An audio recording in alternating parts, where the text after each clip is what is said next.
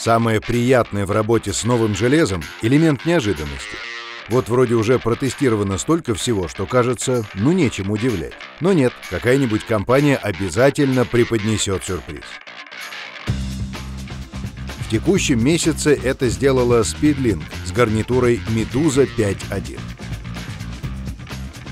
Выглядит она спокойно. Классическая конструкция открытого типа с гибким коромыслом, выдвигающимися дугами и поворачивающимися на 90 градусов чашечками, которые для удобства переноски можно убрать внутрь оголовья. Материалы тоже стандартные.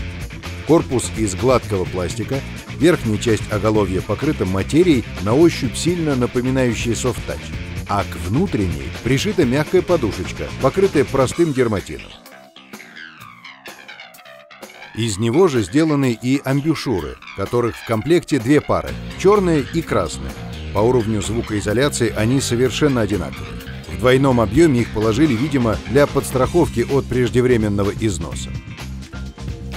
На голове гарнитура сидит удобно. Наушники крепко обхватывают голову, полностью закрывают уши и грамотно распределяют вес по всей площади соприкосновения. В чем же обещанный сюрприз? В звуке. Медуза 5.1 умеет работать с сурраундом. И речь не о виртуализации, а о физической поддержке. На каждое ухо приходится по 4 динамика.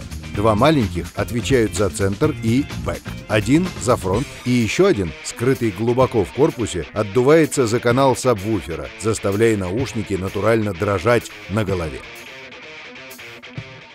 Подключается чуть сложнее обычного. От гарнитуры отходит толстый провод длиной 1,3 метра, жестко прикрепленный к пульту управления. Последний — массивная коробочка, у которой сверху стоит ползунок отключения микрофона, а по бокам четыре колесика, отвечающих за громкость каждого канала. К компьютеру же от пульта уходит еще один кабель, на этот раз трехметровый.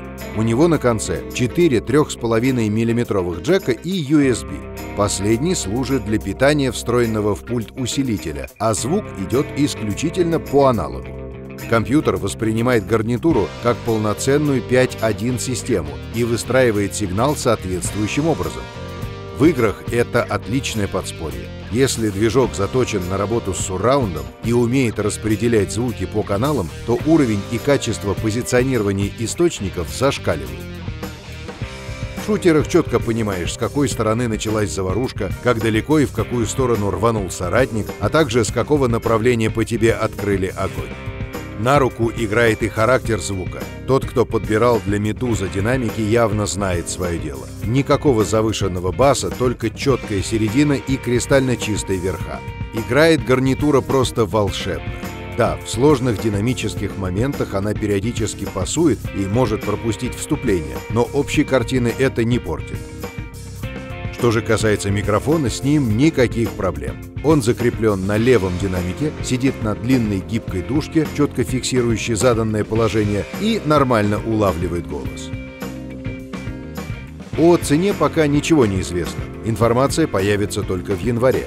Однако, судя по другим гарнитурам Speedlink, стоимость обещает быть довольно гуманной.